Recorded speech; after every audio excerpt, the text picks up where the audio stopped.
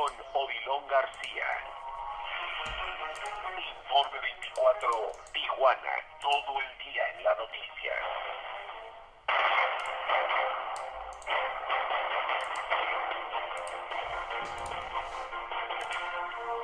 Queridas amigas, queridos amigos, les saludo con mucho gusto, muy buenos días a todos ustedes, saludo con gusto a todos mis amigos en esta mañanita hermosa en la ciudad de Tijuana, Baja California, desde donde se transmite este programa de noticias.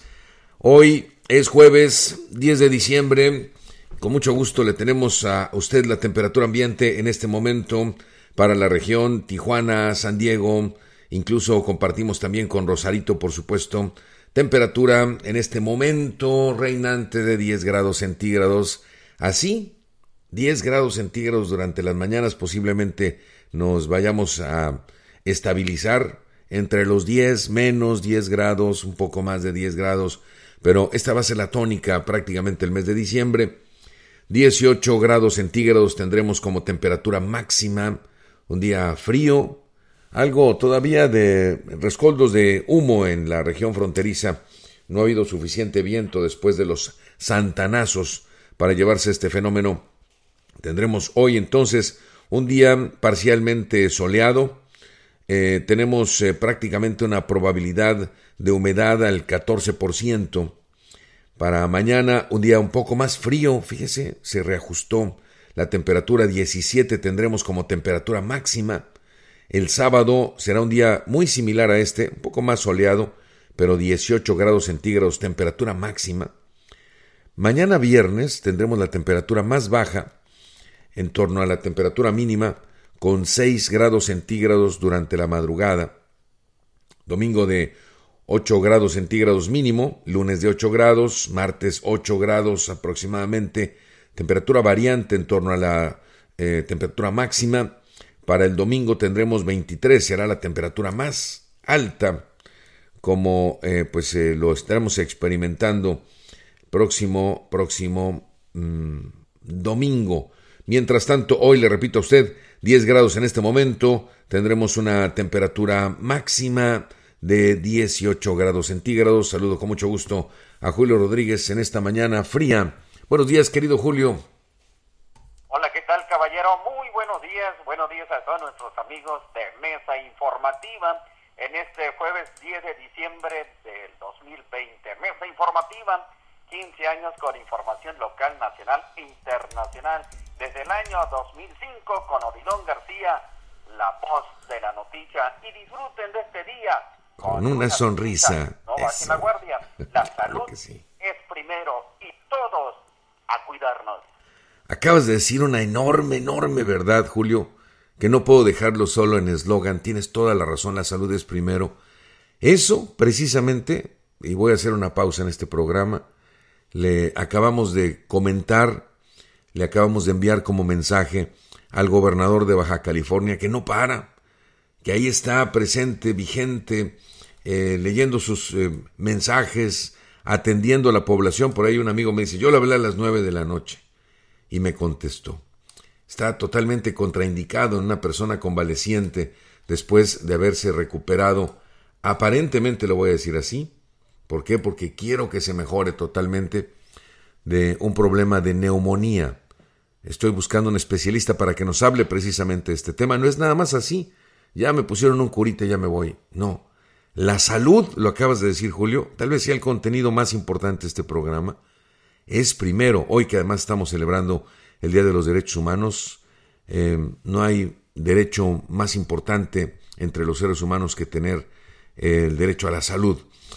Totalmente cierto, tienes toda la razón.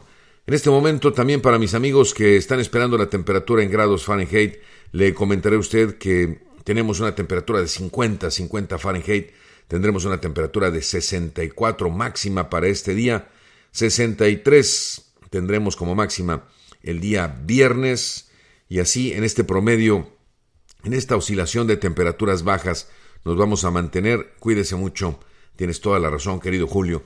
Sin más preámbulos, como siempre, le presentamos a usted un resumen de lo más sobresaliente que ha acontecido en las últimas horas en la región, en la República Mexicana, también en el mundo. Acompáñenos, la información con muchísimo gusto es para usted.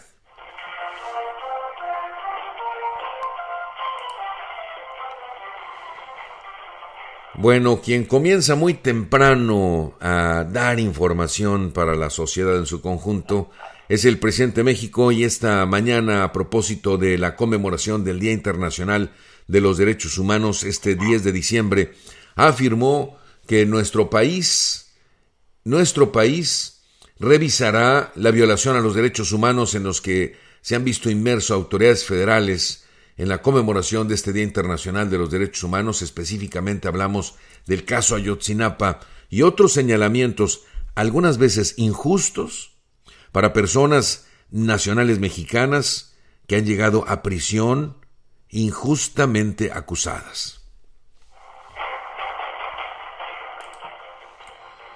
Amor con amor se paga y lo he dicho fuerte, quedito, el dinero no compra la atención y el cariño, habrá hospitales equipados pero el alivio es el cariño de los médicos, palabras que expresó el gobernador de Baja California, Jaime Bonilla Valdés, al egresar del Hospital General de Tijuana, donde habría permanecido desde el pasado lunes derivado de haber contraído COVID-19 y debo subrayar y haber visto afectado uno de sus pulmones. Tras varias semanas de intensa búsqueda por diversos sitios de Tijuana, familiares y amigos localizaron un cuerpo que coincide con las características físicas de la joven Dana Sujei Salgado, de 20 años de edad, desaparecida el 30 de marzo de este mismo año. No somos suicidas, pero tampoco somos cobardes, afirmó el gobernador Jaime Bonilla al pronunciarse por primera vez sobre el atentado en contra del director de Fisamex, Manuel García Soto, y aseguró que este hecho quedará esclarecido y se entregará y se llegará hasta las últimas consecuencias. El presidente del grupo Madrugadores de Tijuana, Mario García Cardona, llamó a los diputados de Baja California a no politizar el presupuesto de Tijuana 2021, un llamado que hace específicamente en torno a declaraciones hechas por el Congreso de Baja California en torno a la ley de ingresos y egresos de este municipio de la ciudad de Tijuana, tal como lo mandató el Cabildo de la ciudad. La Fundación Susana Guaquil llega a la población desprotegida cada diciembre dona zapatos de marca para adultos, pero sobre todo para niños de muy escasos recursos. La bondad de la señora Susana Guaquil, que en paz descanse, llegará a cientos de niños y adultos de escasos recursos a través de su fundación para hacerles llegar zapatos de marca totalmente gratuitos. presidente municipal de la ciudad de Tijuana, Arturo González Cruz, acudió a la colonia internacional en la delegación Sánchez Taboada para atender las necesidades y peticiones de las familias afectadas por el incendio registrado la mañana del martes. Se registran cinco hogares con pérdidas totales y uno más con pérdidas parciales. Rodolfo Epifanio Adame Alba rindió protesta como diputado local en, en sustitución de Víctor Manuel Morán Hernández, quien solicitó licencia tras registrarse como aspirante a la candidatura de Morena para la gobernatura de Baja California. Igualmente le comento a usted que dentro de la información que tenemos hoy para usted, Vicenta Espinosa, secretaria de Honestidad y Función Pública del Gobierno Estatal, podría registrarse para buscar la candidatura a la alcaldía de esta ciudad de Tijuana. Aceptó la funcionaria tras afirmar que originalmente estaba interesada en participar en la contienda para alcanzar la candidatura de Morena al gobierno del Estado. El gobierno de Baja California continúa fortaleciendo la coordinación en el Fondo de las Naciones Unidas a la Infancia, la Organización Internacional para los Migrantes y ahora con los consulados de Guatemala y El Salvador para atender a los niños migrantes extranjeros que llegan a la entidad no acompañados. Y en el marco del Día Internacional de los Derechos Humanos, que se conmemora cada 10 de diciembre la subsecretaria de Derechos Humanos que tiene en su cargo Rocío López Gorosabe, reconoció la importancia de fomentar una nueva cultura en este tema para garantizar un ambiente sano donde todos y todas tengamos la certeza de que se les tratará con apego al marco legal y al mismo tiempo con calidez y honestidad, así como humanismo.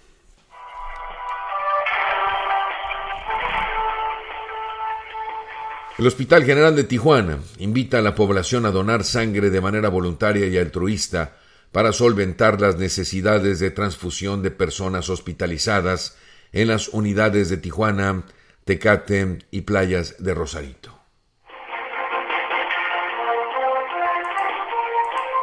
Por unanimidad, el Senado autorizó la nueva Ley General de Educación Superior que obliga al Estado mexicano a garantizar el derecho gratuito en todos la instrucción universal, lo que se concreta a partir del 2022 y será de forma totalmente gradual. Y finalmente, finalmente decirle usted que a pesar de que hay ya vacunas contra el COVID-19 en el mundo, la normalidad que existía antes de la pandemia tardará al menos dos años en regresar, dijo la Organización Panamericana de la Salud, cuando el mundo acumula ya 68 millones 692 mil 977 contagios y un millón 565 mil 101 personas fallecidas según la Universidad John Hopkins que hoy nos presenta prácticamente la estadística actualizada y que todos los días lo revisamos para usted.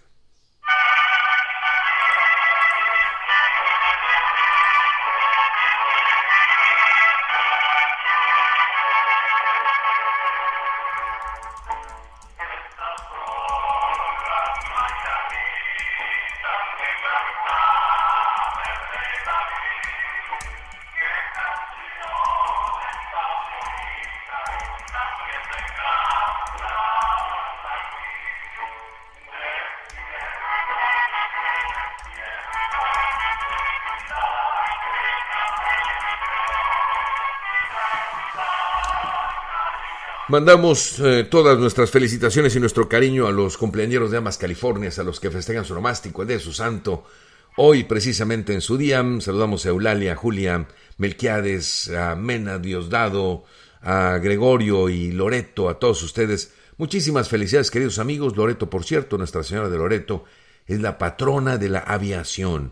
Loreto es como Guadalupe, Fátima, Lourdes, Montserrat, Nuria, un incalculable etcétera de nombres del lugar geográfico cuyo renombre ha saltado la frontera gracias a algún milagro de la Virgen relacionado siempre con una imagen concreta de la misma, sobre la que se han levantado grandes templos convertidos en focos siempre resplandecientes del culto a la Madre de Dios. Como soporte histórico, hay en todos los casos una piadosa leyenda relacionada con la imagen de la María Santísima, que se construye en el epicentro de este mismo culto. Muchísimas felicidades, amigos y amigas.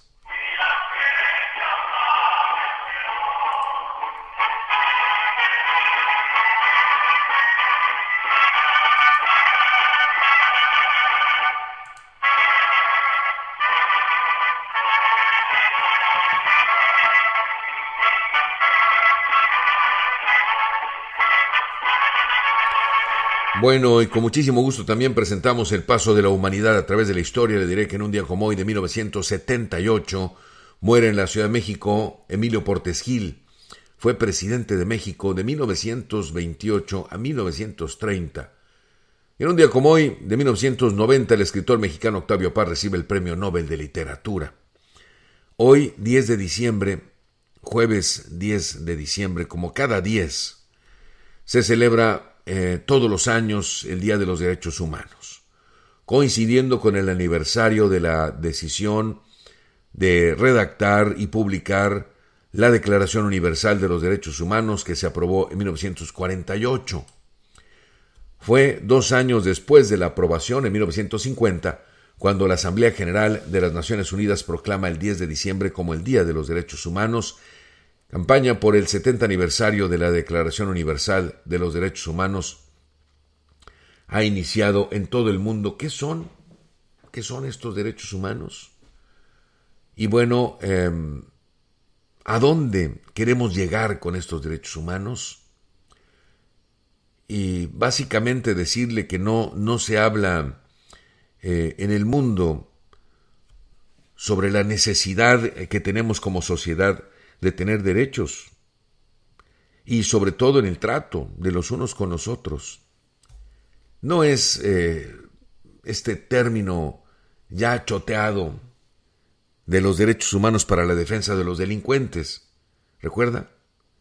Que algunas personas, en un momento determinado, detractores de los derechos del hombre, eh, radicales habrían acuñado este término para la generación de incertidumbre en la población, entre la sociedad. Lo cierto es que yo le digo a usted en términos eh, filosóficos que sin ética, sin derechos de los hombres, sin derechos humanos, no tenemos prácticamente nada. No tenemos absolutamente nada. Esta mañana la secretaria de Gobernación se refirió precisamente a este día. El, el presidente de México dio paso a escuchar eh, su comentario. Pero antes de ir allá, quiero decirle a usted que en la imagen mental de la sociedad, me incluyo por supuesto, está Eleanor Roosevelt, presidenta del comité de redacción, quien sostiene en sus manos la Declaración de los Derechos Humanos, un periódico, haga de cuenta el periódico, como al doble de los periódicos que eh, estamos acostumbrados a ver, ya no tanto a leer, por cierto. Una escritora, Ana Eleanor Roosevelt, activista política de origen estadounidense, fue primera dama de los Estados Unidos desde el 4 de marzo de 1933 hasta el 12 de abril de 1945, durante los cuatro periodos presidenciales de su esposo Franklin de Roosevelt se caracterizó por impulsar los derechos humanos y redactar además lo que no existía, una carta sobre la Declaración Universal de los Derechos Humanos que hasta la fecha forma parte de este, eh, vamos, eh, documento que nos rige como sociedad o nos debiera regir necesitamos darlo a conocer, que se, que se sepa qué contiene. Sí, no solamente es hoy el día en el cual celebramos, bueno, celebramos los derechos humanos. Uno de los derechos importantes, ya lo dijo Julio Rodríguez, es el derecho a la salud. Antes, el derecho a la libertad. El ser humano libre de pensamiento, desposeído totalmente de dogmas, de mentiras, de ilusiones pasajeras. Ese es el derecho más importante, me parece. El derecho a la libertad. No, no, no a salir corriendo y hacer lo que uno quiera, pintarrajear espacios. No, eso no es libertad. Este Día de los Derechos Humanos se celebra cada 10 de diciembre y conmemora específicamente el respeto del hombre por el hombre mismo, la mujer por la mujer misma, del ser humano por el ser humano mismo.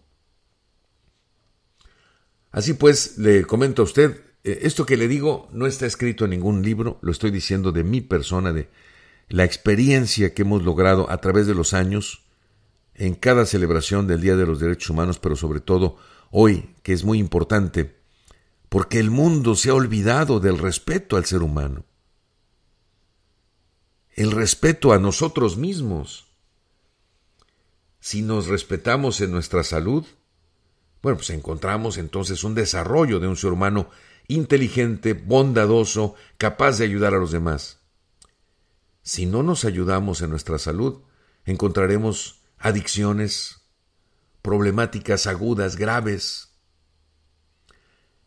En el año 2017, el día fue declarado, eh, lanzado en una campaña de un año de duración, no solamente para conmemorar el 50 aniversario de los dos pactos internacionales de derechos humanos, el Pacto Internacional de Derechos Económicos, Sociales y Culturales y el Pacto Internacional de Derechos Civiles y Políticos, que fueron adoptados por la Asamblea General el 16 de diciembre de 1996, sino que se conociera qué son. En este programa nos hemos esforzado por acercarle a usted estos derechos. El derecho al amor. Todos tenemos derecho a amar y ser amados. El derecho al respeto de todos los demás seres humanos para con nosotros. Ese es un derecho que se ha olvidado. Y comenzamos en la escuela con los apodos, con la carrilla, dicen, ¿ah? con molestar a los demás. Hoy por hoy la escuela es un experimento social importante para poder experimentar en este sentido el respeto a la sociedad. Y bueno, decirle a usted que una mejor eh, recuperación o definición de los derechos humanos de la Organización de Naciones Unidas sobre este tema, un tema de derechos humanos relacionado con la pandemia, derechos humanos en tiempo de pandemia, se centra en la necesidad de reconstruir para mejorar asegurándose de que los derechos humanos sean la base para los esfuerzos de recuperación del ser humano de qué? De su salud y de sus libertades. Hoy estamos amenazados en nuestra libertad a raíz del COVID-19 en el mundo. Todos debemos luchar en contra de la pandemia, de proteger nuestra salud y la salud de los demás. Vamos a escuchar a la secretaria de Gobernación en este momento hablar precisamente sobre el tema. Vamos a ver. Por ello tengo en muy alta estima ambos valores y nunca, nunca voy a dejar de lado, me encuentren donde me encuentren. Por eso fui juzgadora por más de dos décadas y me precio de haber conservado una independencia a prueba, a, tu prueba de todo. Me precio igualmente de haber contribuido con algunos criterios al debate de muchos temas jurídicos particularmente el debate de los derechos con una visión garantista. Por eso sé lo valioso que resulta preservarlo. Digo lo anterior y me disculpo en lo que cabe por el uso de la primera persona, pero también he defendido la indispensable necesidad, y por eso estamos aquí el día de hoy, la imperiosa necesidad de discutir con profundidad los temas que los jueces resuelven de manera razonada y con argumentos por eso es que a solicitud del señor presidente de la República recibimos a diversas personas, algunas dedicadas al oficio periodístico como ustedes, que fueron atendidas desde el mismo día en que fue expuesto en este espacio su caso. De uno de ellos es que quiero dar cuenta esta mañana. Se trata del señor Rafael, así lo llamaré convencionalmente, por su protección de datos personales, hijo de una periodista que aquí expuso su caso. Antes de hacerlo, quisiera dejar en claro dos cosas. Que las opiniones que expresaré en este espacio público son a título personal y como servidora pública del gobierno federal, pero las vierto con todo el respeto a la autonomía del Poder Judicial. Que esta intervención busca solo fomentar un debate necesario en toda democracia participativa y deliberativa respecto de aspectos relevantes de la vida pública como son los procesos judiciales y la participación de abogados y jueces en ellos. Dicho lo anterior, trataré de ser breve en exponer algunos pormenores del asunto que se pueden extraer de la información a la que hemos tenido acceso. En 2008, Rafael fue detenido en Valle de Bravo, donde se le aseguraron armas de, uso exclusivo del ejército, armada y fuerza aérea, así como droga. Tras la esta detención, fue acusado por los delitos de delincuencia organizada y portación de arma de fuego de uso exclusivo del Ejército, Armada y Fuerza Aérea. En 2013 se le dictó sentencia, imponiéndole un total de 17 años de prisión y el pago de 350 días de multa, misma que revisada con posterioridad quedó reducida a 16 años. Posteriormente promovió un incidente conocido como incidente de simultaneidad de penas, por virtud del cual el órgano jurisdiccional que conoció del asunto determinó descontar el tiempo de prisión preventiva que había compulcado hasta entonces por ambos delitos. Dicha resolución fue impugnada por la Fiscalía, pero, pero fue confirmada por un tribunal unitario. Y con ello, la pena de prisión quedó determinada en 10 años computables a partir de la fecha de su detención. En posteriores recursos, uno de los cuales llegó al conocimiento de la Suprema Corte, se llevaron a cabo distintas alegaciones que concluyeron la determinación de la incorrección de los tribunales acerca del alegato de tortura. La Suprema Corte consideró que esto debía haber sido revisado por los, eh, los tribunales eh, colegiados y el unitario y el juez de distrito y le ordenó revisar y ordenó volver a analizar este alegato de la tortura eh, a la luz de la doctrina constitucional que durante años la Corte ha venido construyendo, inclusive cuando yo integraba la Suprema Corte. Bueno, detalles de asuntos de carácter jurídico en los que los derechos humanos de personas fueron violentados.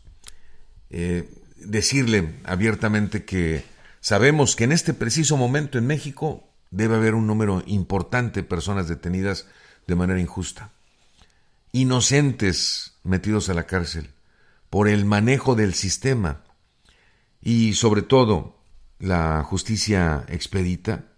Recuerda usted que los abogados lo repiten así varias veces. Una justicia pronta y expedita, dicen. Es que está eh, puesto en la ley, así dice la ley. Pero la justicia, esta palabra en México, dista mucho de la verdadera justicia.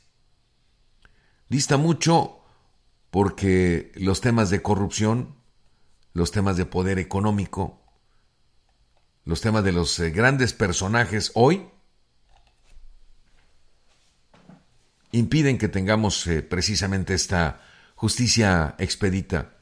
Y por supuesto que no solamente hablo por aquellas personas y las, los padres y las madres que hoy tienen a sus hijos de manera injusta en la prisión. Hablo por mi mismo caso. Ya lo vivimos dentro de los tribunales federales. No hay justicia expedita. Y si pudieran en un momento patear el bote, lo van a hacer. Y si hay alguien que tiene amistades con los jueces, que tiene poder económico, todavía en este momento, como lo dice el presidente de México, no alcanza todavía a nacer la cuarta transformación en el país. ¿Cuál es la cuarta transformación? Un país que no padezca de corrupción, un país que tenga la oportunidad eh, como ayer le presentaba yo en Singapur, el que la hace la paga, lo detienen porque lo detienen y se ejerce la ley con todo el rigor. Todavía sigue siendo una aspiración en nuestro país. Por eso es que hoy la conferencia mañanera del presidente Andrés Manuel López Obrador es un compendio de casos, como el que acaba usted de escuchar, donde se habla de personas afectadas en sus derechos humanos de manera jurídica,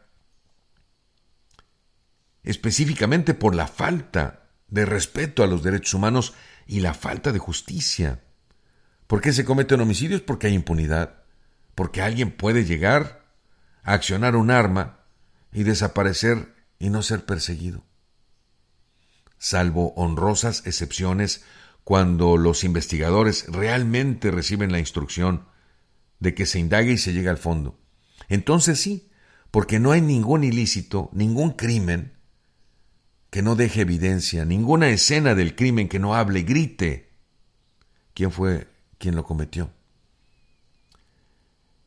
Alejandro Encinas habla esta mañana también sobre los derechos humanos en el país, una conquista que todavía está muy lejos, como si fuera la, la conquista del universo, llegar a otra galaxia. Así nos encontramos Perdone que lo diga, pero con conocimiento de causa. Esta versión fue confirmada por la Procuraduría General de Justicia del Estado de Veracruz de entonces. Sin embargo, y de manera posterior, la Comisión Nacional de Derechos Humanos realizó una investigación y exhumó el cuerpo, llegando a la conclusión de que por las evidencias que encontró, la señora Ernestina había fallecido por, y lo voy a citar textualmente, por las alteraciones tisulares y viscerales consecutivas anemia aguda por sangrado de tubo digestivo secundario a, úlceras gástricas, pépticas, agudas en una persona que cursaba con una neoplasia hepática maligna, un proceso neumónico en etapa de resolución, isquemia intestinal y trombosis mesenteril. Cito, cierro la cita. En palabras de Felipe Calderón, la señora Ernestina murió de gastritis crónica. Esta posición, por supuesto, es inaceptable para el gobierno de México, por lo cual queremos señalar que la posición sostenida en la reunión de trabajo de la Comisión Interamericana de Derechos Humanos esta semana no representa la posición del Estado mexicano, las políticas en materia de protección y garantía de los derechos humanos y no representa las instrucciones que el presidente de la República nos ha dado para atender estos asuntos. Bueno, y eso porque Felipe Calderón ya no está en el poder.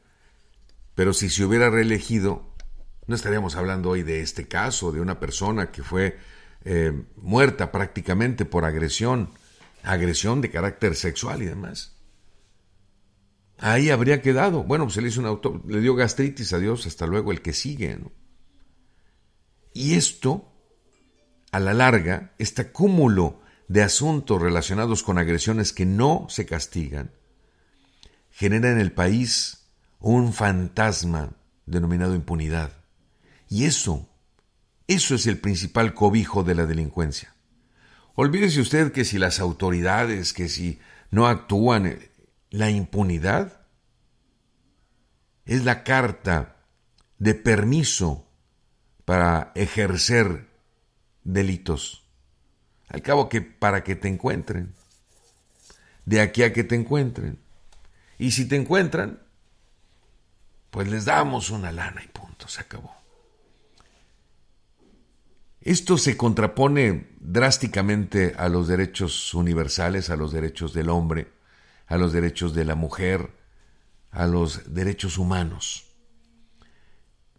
Y como se ha advertido de manera muy puntual esta mañana en este programa, no hay nada más precioso que la salud, porque eso es lo que nos mantiene vivos. Si las instituciones de salud no cuentan con implementos, si las instituciones de salud no cuentan con los aparatos específicamente para eh, realizar las intervenciones quirúrgicas y demás, si no cuentan con la asepsia, esto es corrupción. Y si las autoridades se hacen de la vista gorda, pues ¿qué se le va a hacer? Pues ya en años, ¿no? Aquí se tendría que invertir mucho recurso, pero pues no tenemos para eso. Eso es corrupción. Es falta a los derechos humanos de la sociedad. ¿Cuánto nos falta? Nos falta muchísimo, muchísimo. Decirle que, bueno, el Papa hoy se refirió específicamente y mencionó que todos debemos contribuir al respeto a los derechos humanos. Es un clamor del Papa, quien menciona, el Papa Francisco, quien indica que todos estamos llamados a contribuir con determinación para que se respeten los derechos humanos fundamentales de cada persona. Todos. Pero si no nos importa, si nos vale nada, tarde o temprano, esta violación a los derechos de alguien nos va a tocar a nosotros.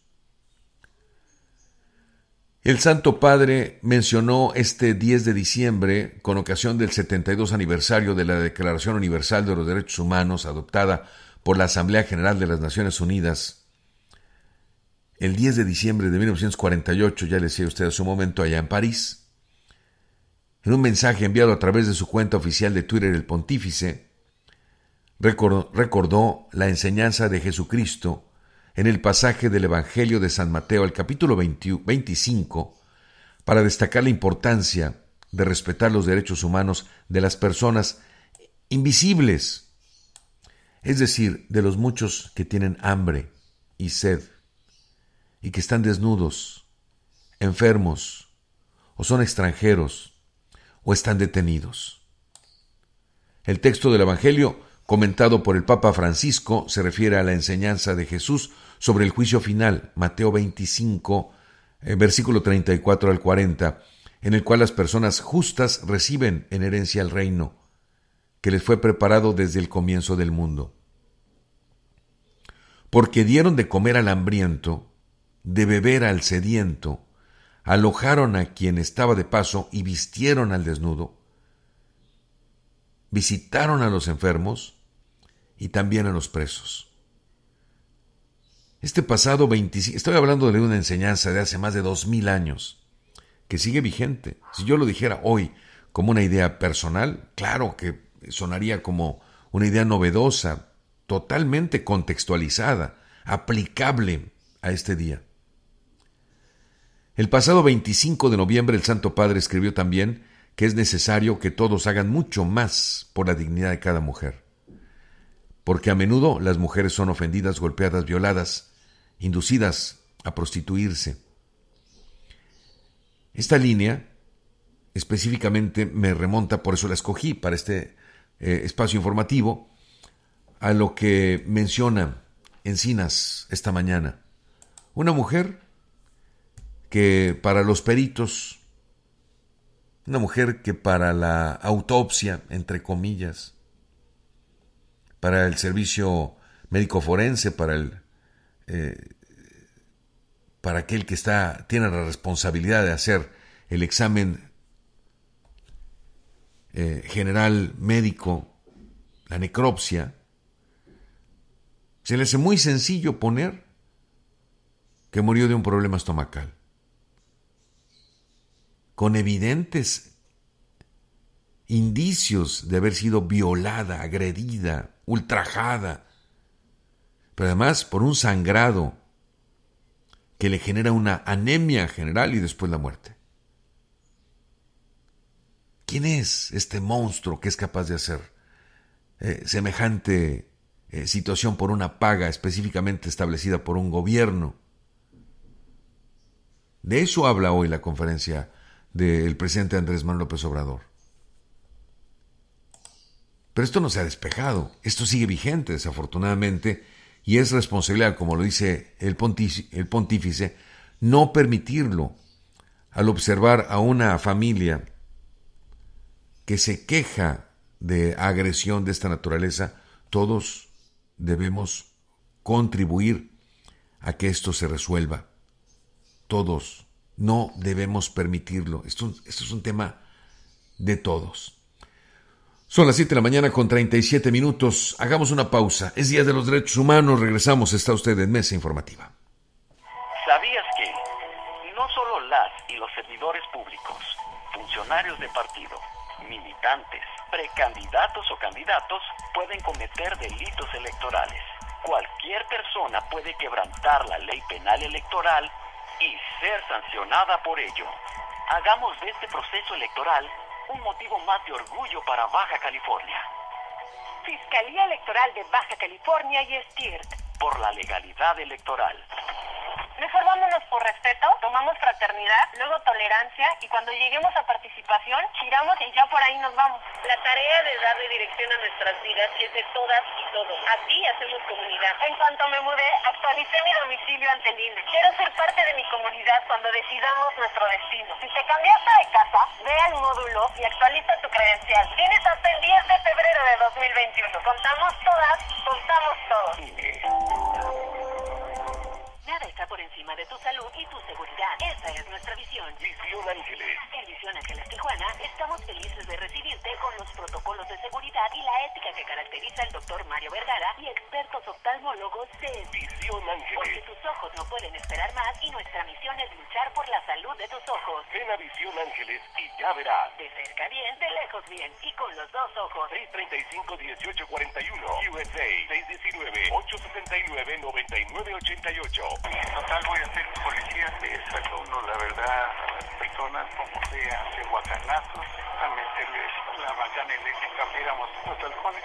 Creí que era un deber social que podía dejar de beber cuando yo quisiera y no fue así. Perder familia, usar un fondo de sufrimiento muy cabrón, esos delirios visuales, ver cómo me comía las arañas, los alacranes. El mundo las drogas no es un lugar feliz. Busca la línea de la vida, 800-911-2000.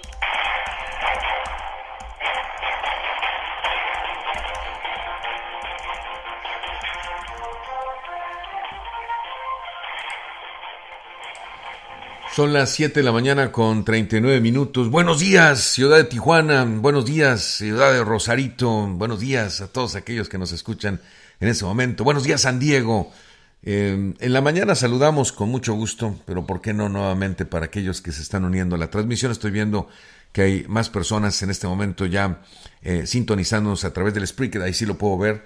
Eh, no puedo ver la transmisión básicamente con, bueno, pues la radio, ¿no? ahí nada más lo puedo sentir de manera intuitiva, pero obviamente que en las aplicaciones em, electrónicas ya sí lo podemos observar.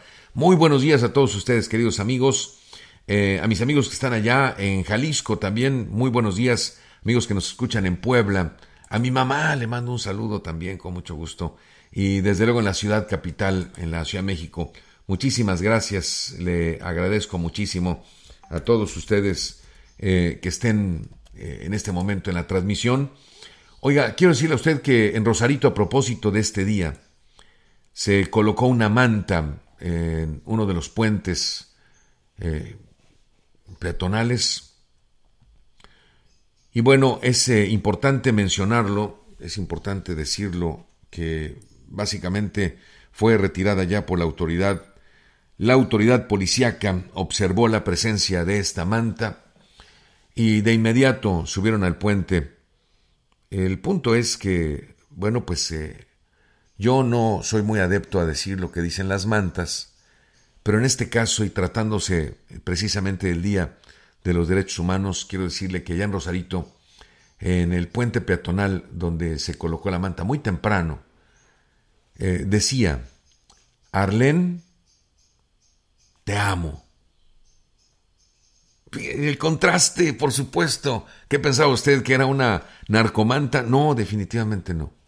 Esos son los mensajes que queremos escuchar. Aunque bueno, de alguna manera colocar una manta, pues es, eh, eh, se arriesga uno a una multa, pero eh, cuando se trata de amor, cuando se trata de, cariño, de entrega, espero que Arlene haya visto la manta antes de que la policía la retirara, por supuesto. Pero eh, esto me deja, vamos, una sensación de, de bondad absoluta en torno a que, sí, obviamente, se han colocado en diferentes puntos de México odio, rencor, amenazas. En este día amaneció en Rosarito una manta de amor. Arlén, te amo.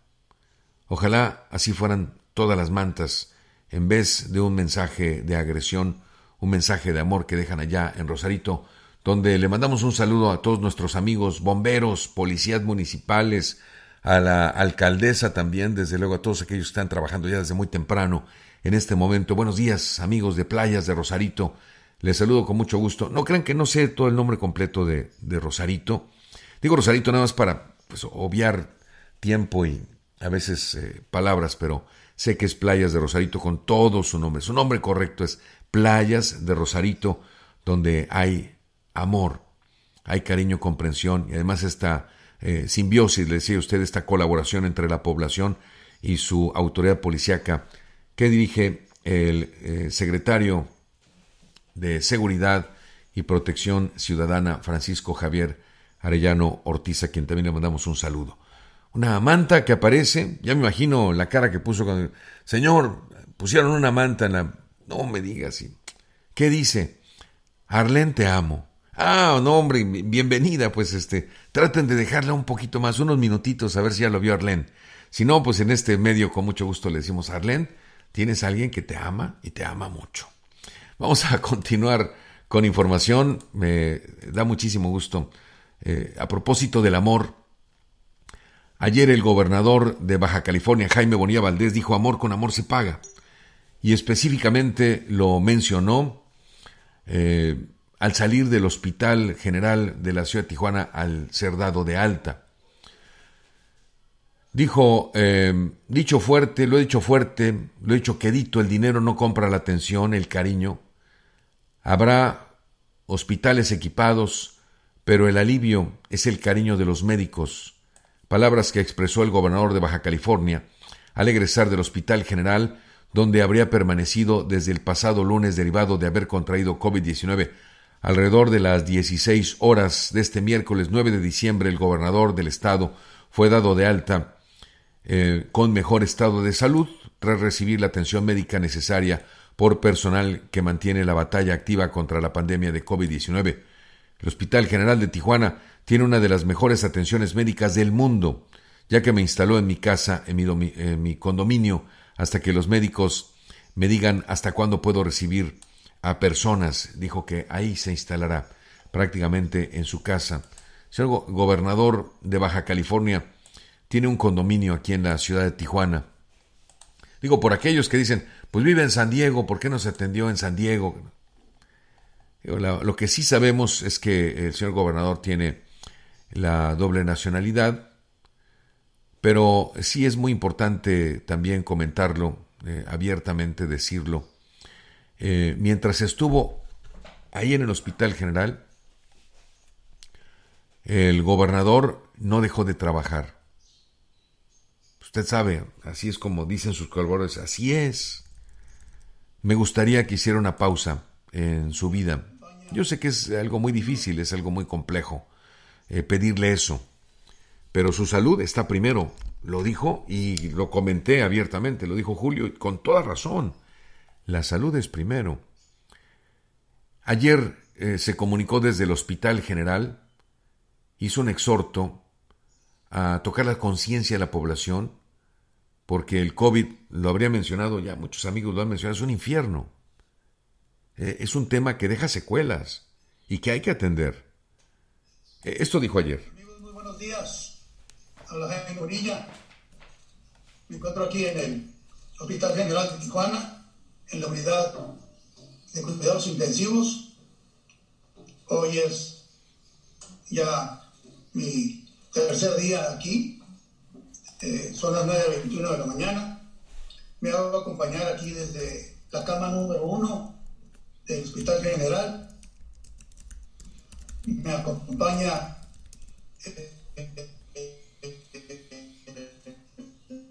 médico de cabecera de Sonauta, que no quiere que lo contagie. Yo ya este, estoy bajo tratamiento y, aquí los médicos le explicarán. Eh, muy contento porque he tenido un excelente trato, una atención este, impecable de todos los médicos y voy a hacer, le voy a dar la palabra al doctor eh, Pérez Rico y posteriormente le quiero presentar al médico que me estuvo atendiendo, médico de cabecera aquí básicamente del hospital en eh, terapia intensiva, el doctor Adrián Corro, jefe de la, de la unidad, este, que ha sido todo un profesional, eh, es, es, es lo mejorcito es lo mejorcito que tenemos en Baja California. Sin duda, a, las pruebas, a las pruebas me remito para comprobarlo. Eh, llegué en unas condiciones eh, muy deterioradas. Eh, de repente, y el doctor de las fechas que se elaboró mi, mi, mi contagio. Fue días después de que se retiró el presidente y cómo se fueron elaborando mis síntomas, al grado de que se convulsionaron todos los síntomas al mismo tiempo y, prácticamente paralizan el organismo.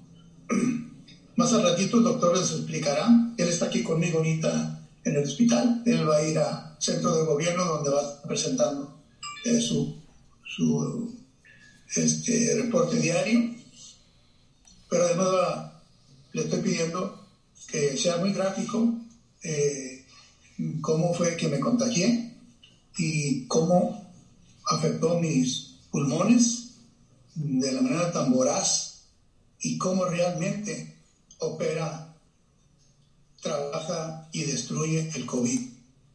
Eh, es importante para mí, como gobernador, enseñarles de un pulmón sano que con todos los órganos eh, de mi cuerpo funcionando, como un contagio como este no le importa y te agarra de lo más débil. El doctor aquí les explicará un poquito más. Doctor, muy buenos días. Aquí les voy a adelantar al médico de cabecera de Baja California. Al ratito le voy a dar el reporte.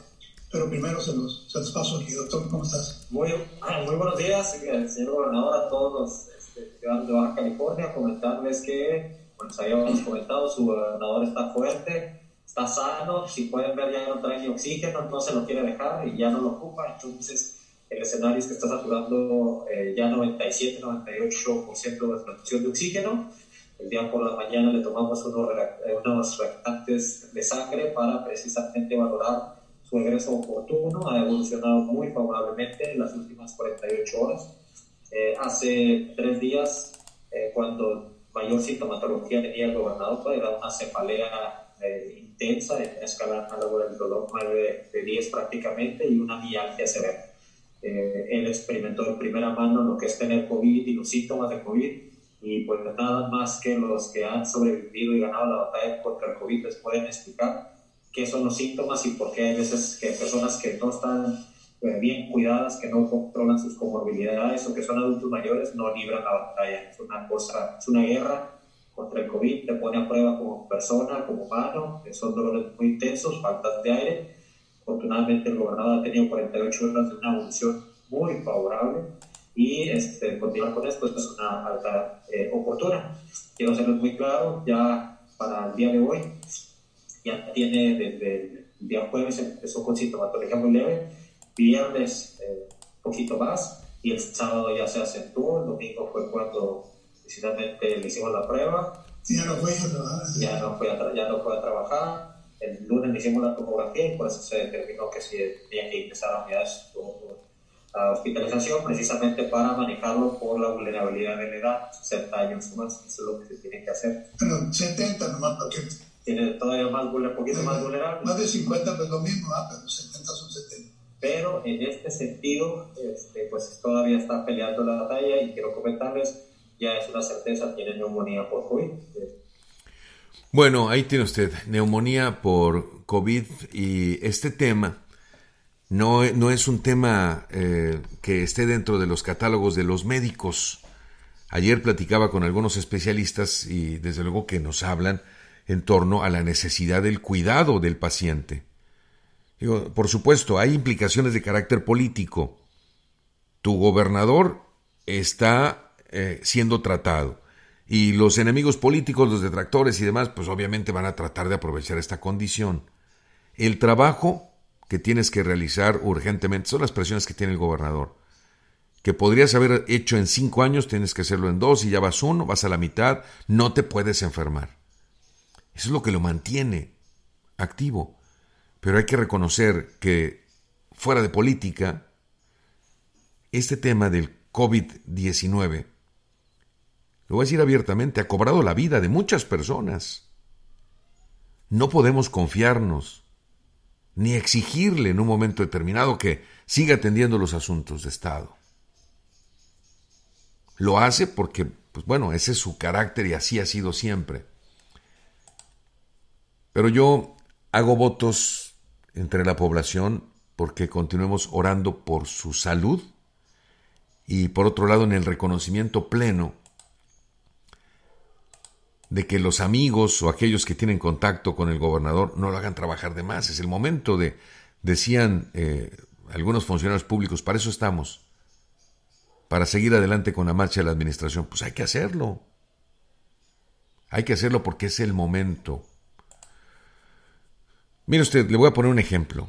Antes de hablar de, eh, que ya finalmente eh, fue dado de alta del Hospital General. Ayer todavía se comunicó para atender un asunto específico que es el tema de la agresión armada. Buscaron asesinar a Manuel García Soto, quien es el director general de FISAMEX, el hombre que ha realizado diferentes eh, exámenes, pruebas, auditorías para encontrar a aquellos que son los eh, principales deudores los grandes deudores del agua. A raíz de esta actividad, a raíz de su trabajo, atentaron contra su vida. Las investigaciones continúan. Yo ayer estuve en el lugar donde ocurrieron los hechos y observé con detenimiento a través de un testigo dónde se detuvo el vehículo, cómo es que el copiloto del vehículo agresor voltea a ver al piloto donde iba el ingeniero Manuel García para sonreírle, hacer lo que se confíe. Y en la parte posterior de este vehículo, el conductor vio bajar el vidrio para asomarse el cañón de una, de un arma, de una pistola. En ese momento, todo se da en instantes. Comienzan las balas, el vehículo del el ingeniero Manuel García acelera. Son eh, entre 17 disparos los que se hacen en ese momento, tres personas dentro de un vehículo, fue lo que vio el testigo, quien ya presentó declaración, por cierto. Y a partir de ese momento ocurren muchas circunstancias coincidentes. Vamos que pudiéramos decir, son un milagro. Manuel García se lleva las manos a la cabeza y en ese momento una bala le impacta el reloj. Es decir, su muñeca, el reloj, hacen que una bala no se incruste en su cabeza. Hay otro balazo eh, que llega con menos fuerza al abdomen y que genera en este sentido un gran moretón, pero no penetra. Y otro más que pasa cortante a la altura de la rodilla. Estoy hablando, son 17 tiros, el chofer tiene un impacto en el hombro. Es decir, la agresión iba dirigida especialmente y específicamente contra el ingeniero Manuel García. De ahí se da una persecución, de pronto aparece a lo lejos y de frente una patrulla de la policía municipal. Los agresores salen, dan vuelta a su izquierda, salen de la persecución. El vehículo de Manuel García, una camioneta pickup Lobo de color rojo, continuó a su paso. Los policías escucharon las detonaciones, creen que los agresores son los del pickup, así es que los detienen y los tratan como delincuentes.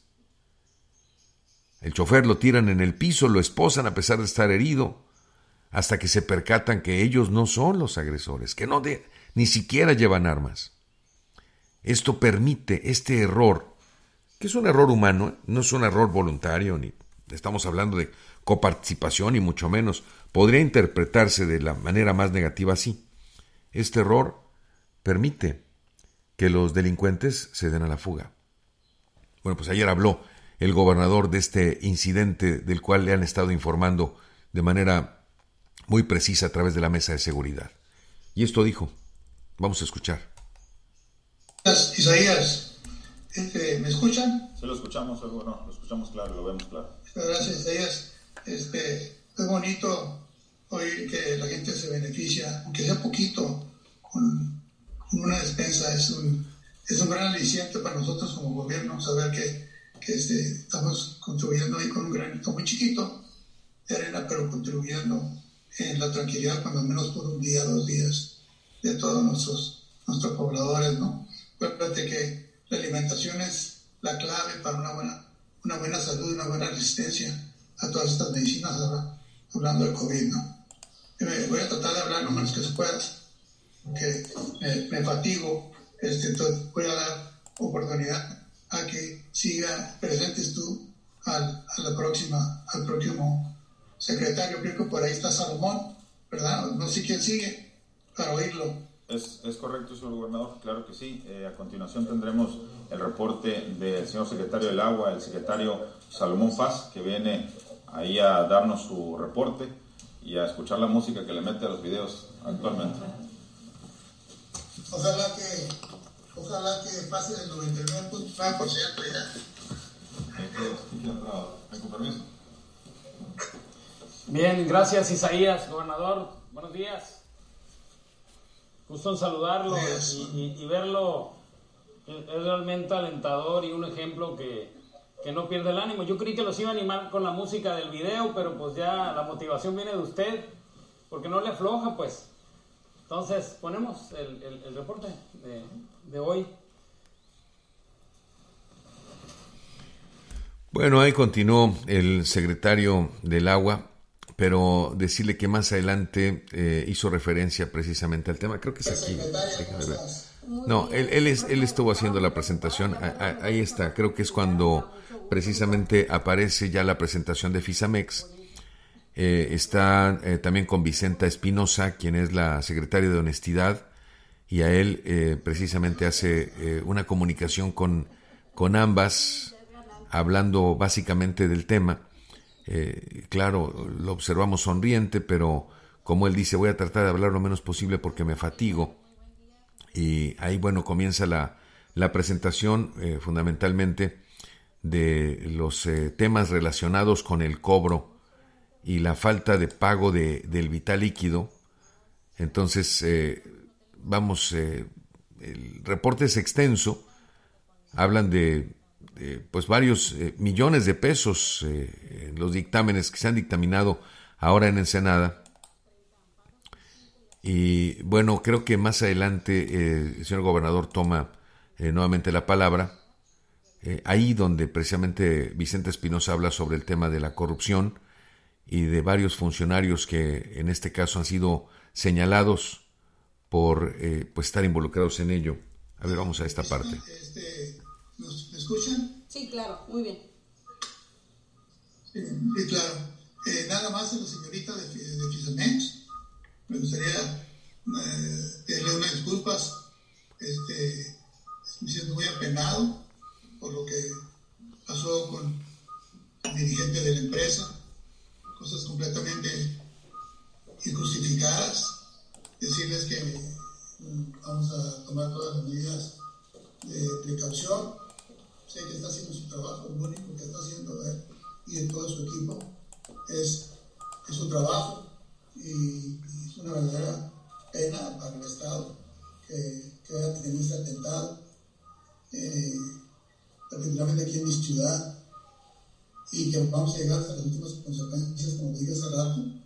Tengan confianza en eso, vamos a ver quiénes fueron los agresores y la motivación. Eh, eh, y espero noticias, ustedes nada más tomar precauciones, no nos vamos a detener, seguimos adelante. Lo único que no oí hoy, ahorita no oí el total de esta semana en las, en las este, apreciaciones, auditorías Claro que sí, fueron 105 millones, señor gobernador, y gracias por el apoyo. Eh, otra vez arriba de 105 millones, y sigue acumulando. Entonces, el total por cobrar todavía que tenemos, eh, Vicenta, ¿cuánto es? En todo el mes, en, todo, el estado. Son, ahorita lo vamos a poner para que lo, pueda observar. De hecho, se logró cobrar ayer 1.8 eh, millones. Sin embargo, eh, esta semana estuvo eh, un poquito pesada y sí debo decirlo, que nos hemos estado reuniendo con empresas, gobernador, y desafortunadamente hay algunos abogados que los andan asesorando, y debo decirlo, porque los andan buscando, aprovechan lo que nosotros transmitimos aquí de información para buscar a las empresas y mal asesorarlos. Yo creo que la mejor manera es que se acerquen y paguen eh, son 5.430 millones, gobernador, y se han recuperado 1.443 millones, de apenas el 26%. si pueden tener, si pueden tener los nombres de esos abogados que se dedican a, a, este, a corretear ambulancias, así les llaman, uh ambulancias, a buscar clientes, este, lo único que están haciendo es este, programando la economía de una empresa. Porque si una empresa no tiene agua, la van a cortar el servicio y a ver qué es lo que hace ese abogado después, ¿verdad? Este, pero sabemos que somos panistas, pues eso ni duda, eh, vamos, a, comprobarlo. Consigo los nombres de esos abogados que se están dedicando y los jueces que le están otorgando esos amparos. Así es. Eh, las suspensiones que eventualmente se las retiran, pero este flaco favor les hace y flaco favor le hacen a la comunidad. Ahí tiene usted un gobernador que continúa combativo en este tema, en el tema del adeudo, millonarios adeudos de agua. No estamos hablando de un centavo, estamos hablando de 5 mil millones de pesos en adeudos. Ese es el total general global del arqueo en todo el estado. 5 mil millones de pesos, 1.400 millones que ya han sido captados, y por supuesto la ambición de algunos al observar, al escuchar de esta cifra, que eh, dentro de una batalla que no se no se da en ningún otro estado de la República Mexicana como aquí. Ya ocurrió en Sonora, igualmente en algunas eh, ciudades eh, de Sinaloa, pero no como en Baja California, donde el gobierno está totalmente concentrado en cobrar a aquellos denominados los grandes deudores del agua. Y fíjese, son 1.400 millones. Es una cuarta parte aproximadamente de los poco más de 5 mil millones de pesos que en arqueo general se sabe adeudan al estado de Baja California. Bueno, ahí tiene esta historia, este tema relativo a la agresión contra Manuel García derivado precisamente de este asunto. Lo está atendiendo directamente la Fiscalía General de Justicia. Hay indicios, ya hay pruebas eh, sustanciales y eh, suficientes e importantes, irrefutables hasta cierto punto para llegar con la autoría intelectual y material de este ilícito. Así que bueno, pues eh, ahí lo pongo en este sentido. El gobernador de Baja California ayer entonces eh, salió del hospital, como usted escucha, eh, como usted ayer dijo, me siento fatigado, me fatigo. Bueno, pues vamos a hacer todo lo posible porque el jefe del Ejecutivo pues no tenga la necesidad de estar hablando de más, es decir, eh, sería inhumano buscarlo en este momento para tener una comunicación vía telefónica, pues eh, claro, desde luego que no, no sería lo más adecuado, por supuesto. Eh, yo lo pongo entonces en, esta, en esta mesa de información. Así están las cosas en este momento para el jefe del Ejecutivo del Estado. Y bueno, es cuestión de que todos nosotros podamos aprender también de lo que hoy nos presenta lo que nos presenta básicamente pues es eh, una enseñanza de lo que nos puede llegar a ocurrir a nosotros mismos si no nos cuidamos. Tener una afectación, yo hace un momento eh, estaba platicando con el doctor Laneado, quien es un especialista en temas eh, relativos a la neumonía, y le decía, pues dame información sobre la neumonía, qué es, cómo se combate. Me dijo, vamos a platicar el lunes ampliamente pero no es otra cosa que una infección. Esa agua en el pulmón es una infección de los pulmones, muy difícil de erradicar y además quedan secuelas. Voy en este momento a la línea telefónica, agradezco muchísimo a don Miguel Mora, un hombre que es especialista en derechos humanos y que además, bueno, amablemente nos toma la llamada telefónica para hablar hoy en este día, día importante de los derechos humanos, sobre esto que a veces es mal entendido, pero que, bueno, nos forma hoy como sociedad. Don Miguel, ¿cómo está? Muy buenos días. Muy buenos días, amigo, ¿cómo está? Bueno, un gusto saludarte a ti y al auditorio. Muchísimas gracias. Gracias, estamos muy bien, listos para escuchar qué son los derechos humanos. Hay que recordarlo hoy en este día, que es muy importante y qué mejor que el comisionado estatal de los derechos humanos nos hable precisamente de ello. Hablábamos del derecho a la salud, el gobernador en este momento, bueno, pues está recuperándose derecho fundamental, el derecho a la libertad, ¿cuál es más importante? ¿Cuáles son estos condimentos de la sociedad que debemos recordar para poder salir adelante? Adelante, don Miguel. Muchas gracias. Primero recordar que hoy es el Día Internacional de los Derechos Humanos por la referencia a la Declaración Universal de los Derechos Humanos que se publica en el 10 de diciembre de 1948 y dos años después la ONU declara este día como el Día de los derechos humanos. Y me haces una pregunta muy difícil porque normalmente nos tardamos mucho tiempo en definirlos. Hoy eh, son muy especiales, son tan complejos que es difícil darles una dimensión desde, desde una perspectiva. Y pues bueno, ha recobrado mayor importancia en este año respecto a la pandemia y también nos ha dejado una serie de lecciones de los grandes retos que seguimos enfrentando.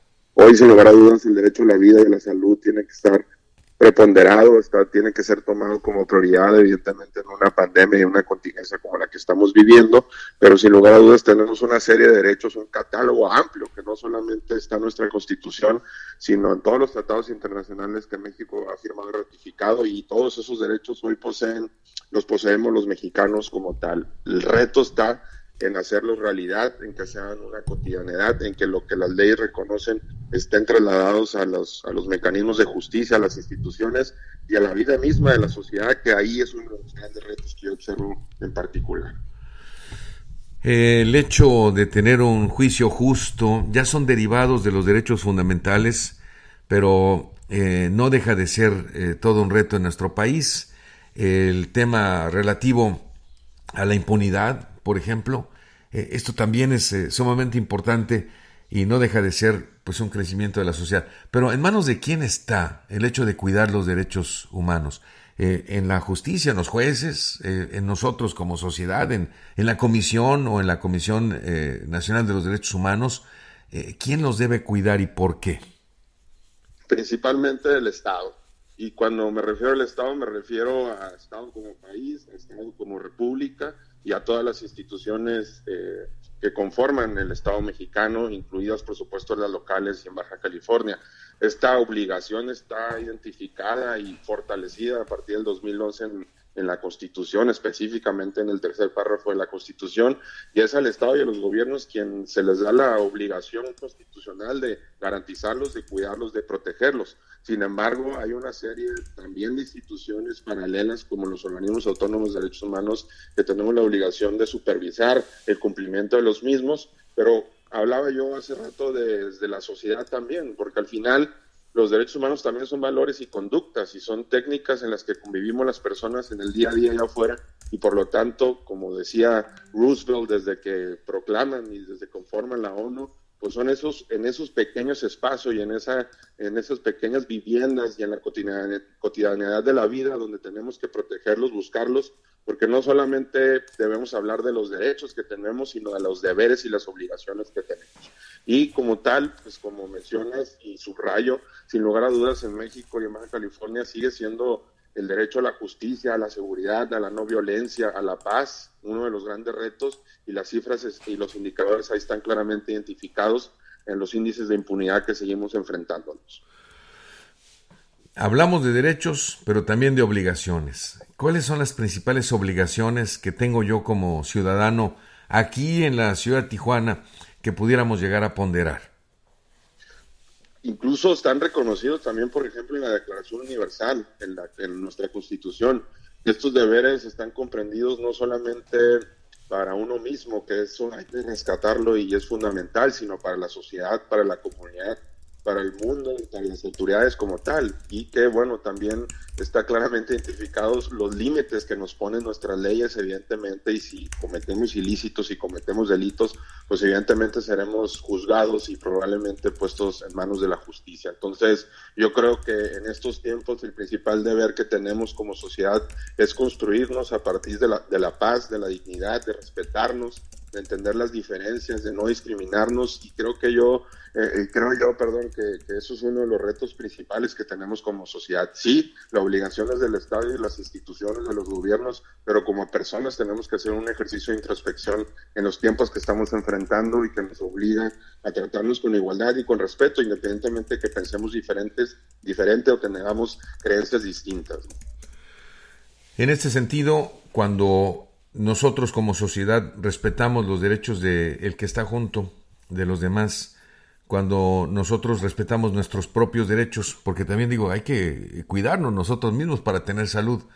Cuando logramos construir una sociedad eh, de esta manera eh, es más fácil eh, vamos poder crecer y poder desarrollarnos.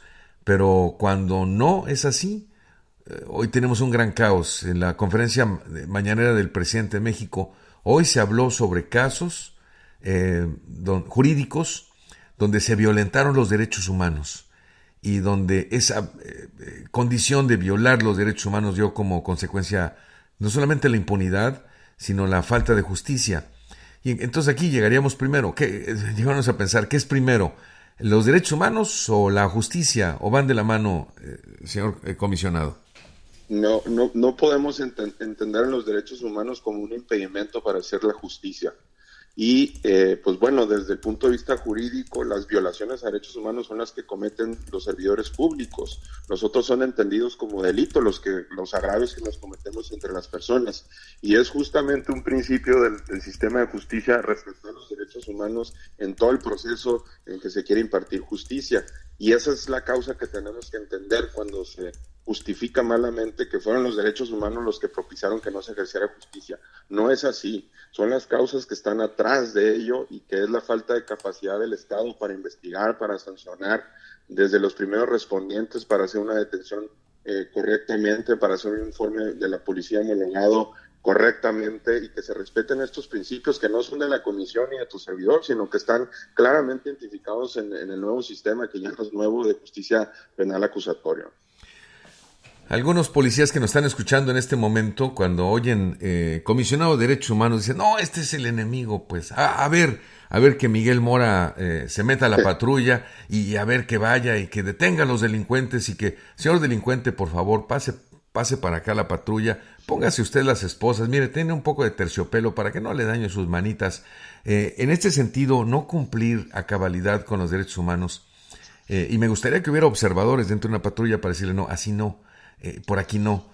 Porque al final del tema, me voy a adelantar un poquito a la respuesta que ya sé que tiene nuestro amigo Miguel Mora, que es un especialista en derechos humanos, no hacerlo así, no cumplir con los derechos humanos, cuando ese detenido llega al juez, eh, finalmente todo su esfuerzo, todo lo que hizo, la gasolina que gastó, el uniforme, termina cuando el juez dice hubo violaciones, no se cumplió con el debido proceso eh, la cadena de custodia se rompió, en fin, todo ese tipo de cosas que para el policía eh, de la vieja escuela no sirven para nada, terminan con la libertad de una persona, don Miguel.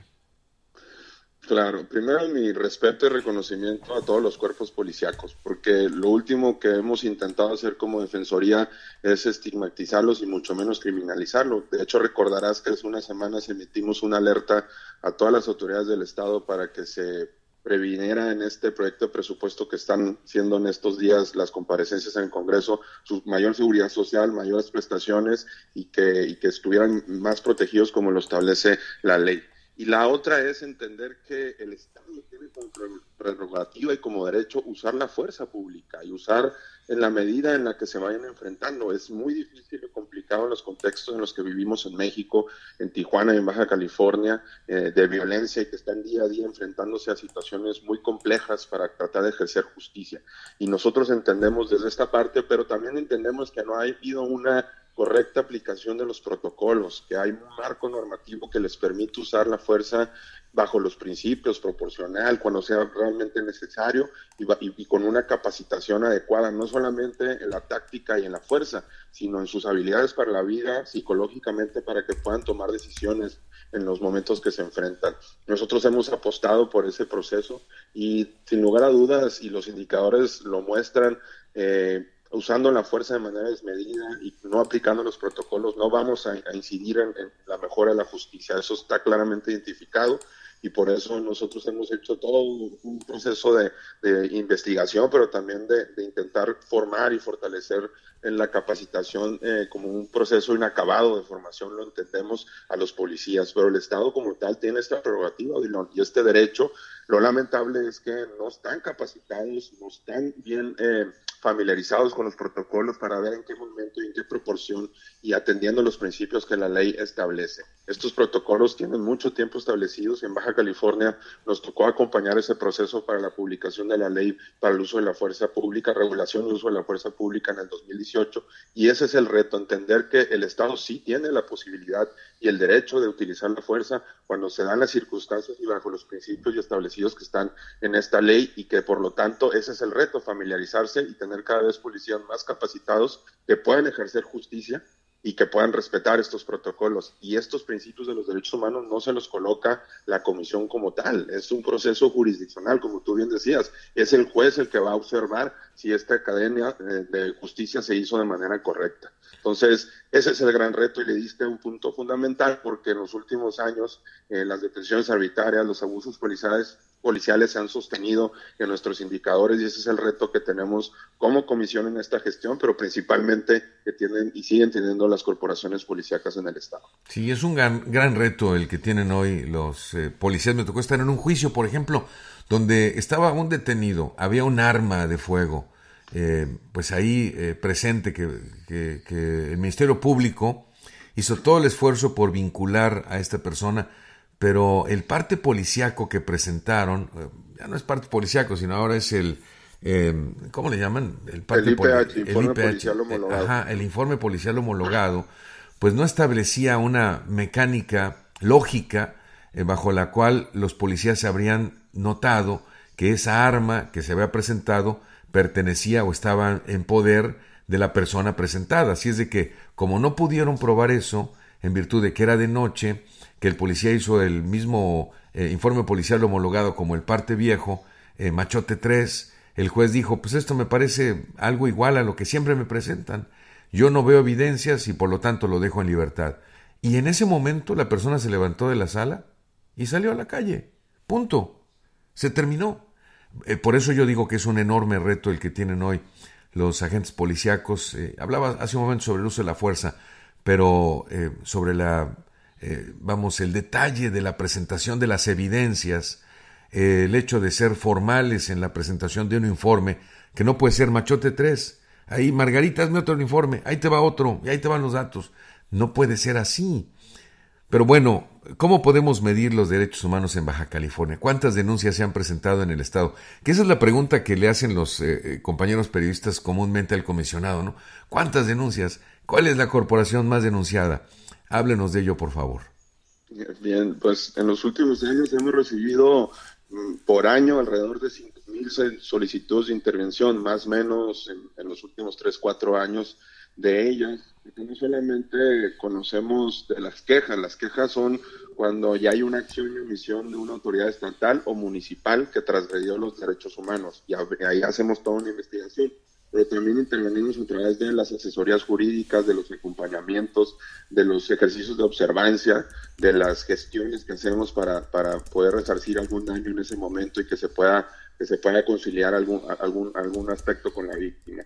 Y estas quejas eh, se han sostenido también en los últimos tres años, alrededor de las 2.000, 2.200 año por año y que bueno, siguen siendo también, eh, evidentemente, no es que sea natural en este sentido, pero por la naturaleza de, los, de las funciones, vamos, repito, por estar en calle eh, eh, constantemente enfrentándose a circunstancias, son las corporaciones policíacas, es la policía de Tijuana, por ejemplo, de quienes más tenemos quejas junto con el sistema penitenciario, pero también destaca el sistema de salud y el sistema educativo como tal, porque seguimos teniendo retos y que esta pandemia nos ha visibilizado más de los retos sistemáticos y estructurales. Lo he venido sosteniendo en este tiempo.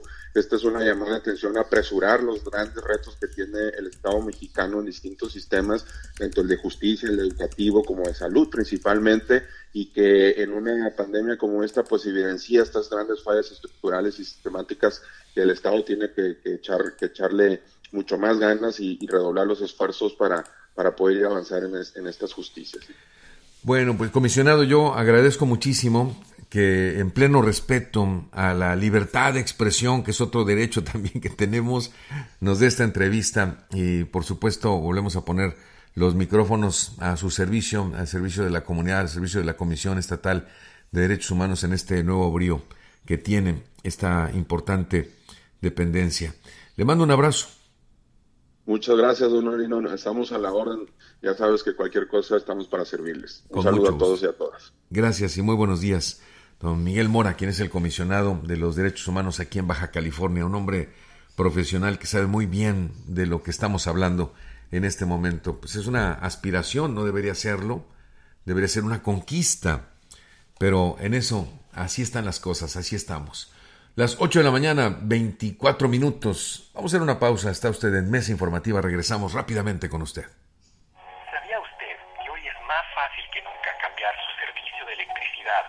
Sistema solar?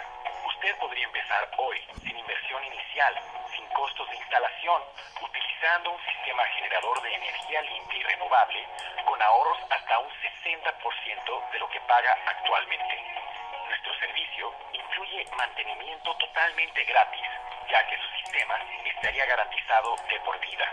Además, contaría con el respaldo de nuestra compañía con más de 20 años de experiencia en energías renovables. Llámenos hoy al 619-494-0521 para una evaluación gratuita con uno de nuestros especialistas y le ayudaremos a encontrar la mejor opción de sistema solar para que empiece a ahorrar hoy. Solo podemos enviar abrazos y besos por el celular. Solo podemos darnos el codo como saludos. Hola, hola. Reunir pantalla.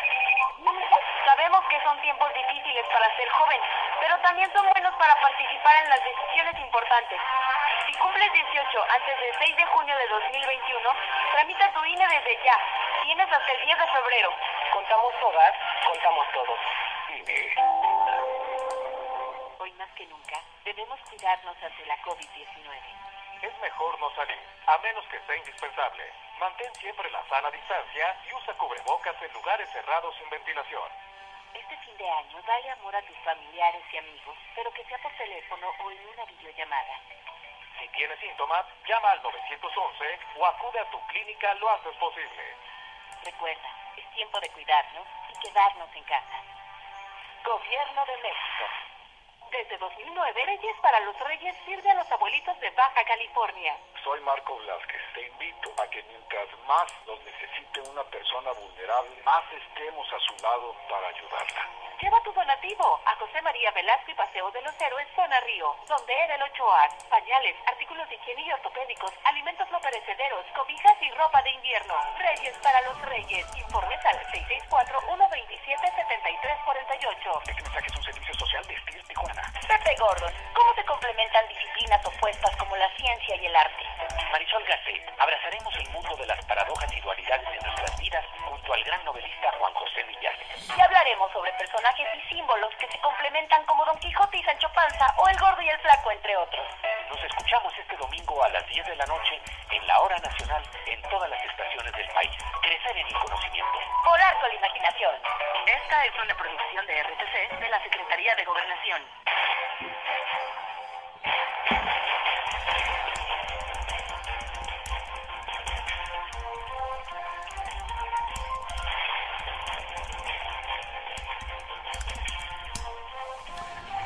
En este momento son las 8 de la mañana con 26 minutos. 8 de la mañana con 26 minutos. Agradezco a mis amigos que están al pendiente de este programa. Igualmente a través del número telefónico 663-200-5649.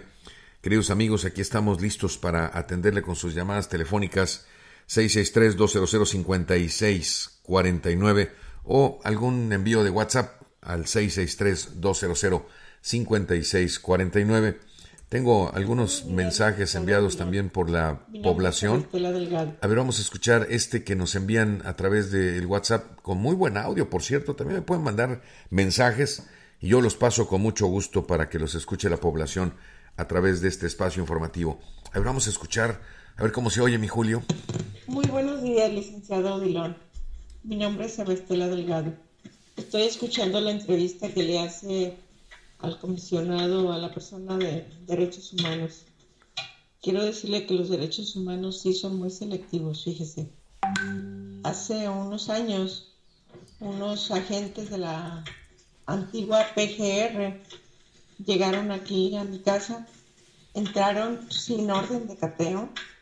Mi madre, que no podía caminar, estaba pues sola en la casa. Mi vecina quiso venir cuando vio que estaban entrando, vino y le, les pidió de favor que permitieran entrar para ver a mi madre. No lo permitieron.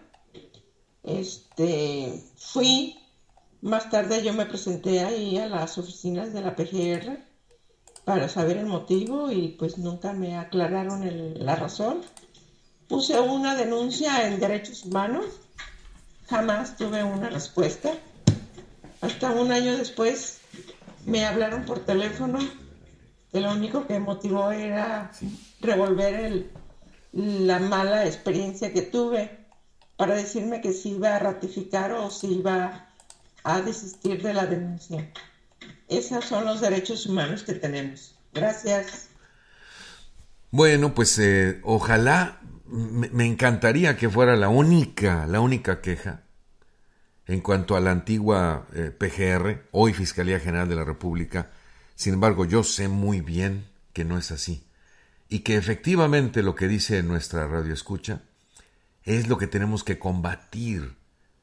Con dinero baila el perro, pero también las instituciones.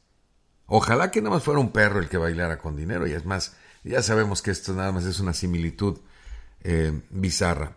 Por supuesto que no. No, no, no tenemos aún los derechos humanos que nosotros requerimos como personas, como seres humanos. No tenemos los derechos humanos que nos merecemos y hay que pugnar desde la casa, desde muy temprano, con el orden, con los derechos que tienen los niños, claro, por supuesto, el amor que les damos, sobre todo eso. Cuando, cuando comenzamos a construir a los seres humanos, necesitamos darle a los niños amor. ¿Qué más? Amor y amor de verdad. Dando amor tenemos una pieza, un pilar fundamental de la construcción. Un hombre que ha sido amado, una mujer que ha sido amada de niño o de niño, de niña o de niño, cuando crece no es capaz de cometer eh, atrocidades como las que hemos visto, hemos atestiguado. En fin, y después darle educación, que es otro derecho. Eh, solamente así, con hombres y mujeres rectos, hombres y mujeres construidos en la integridad,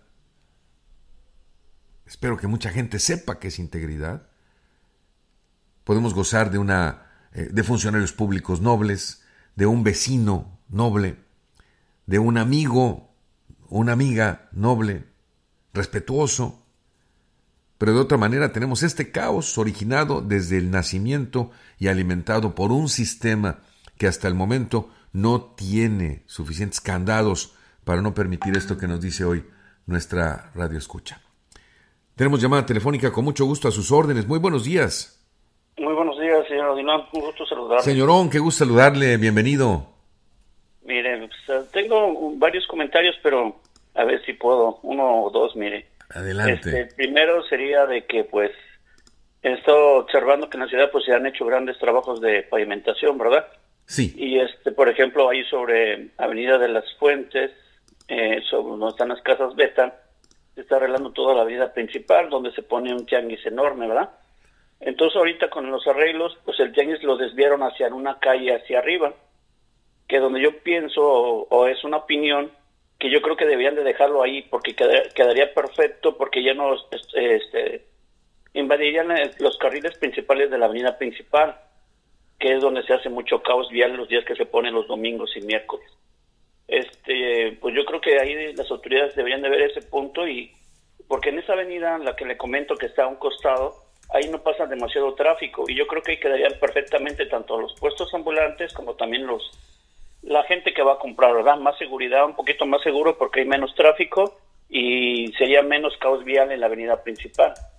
Bueno, ese es un comentario de que pues ojalá las autoridades vean ese punto, ¿verdad? Y también los líderes de los de los tianguis. Y yo creo que también sería una movilidad más rápida para todos y menos contaminación y menos caos, ¿verdad?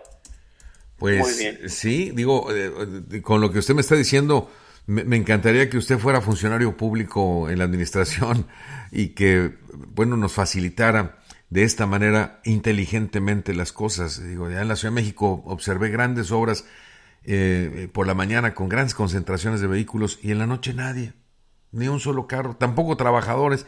Dice, bueno, ¿por qué no trabajan en la noche, hombre? Cosas tan sencillas. Sí, claro.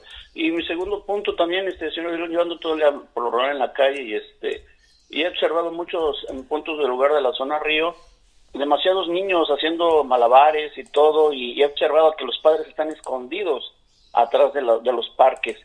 Los niños, este, yo he visto que hasta la gente les da de a dos, de a cinco dólares, de a dólar, porque lo he observado. Y los niños hasta se andan peleando por el dinero, fíjese. Los hermanos, o no sé si sean primos o lo que sea, los chiquillos que están ahí.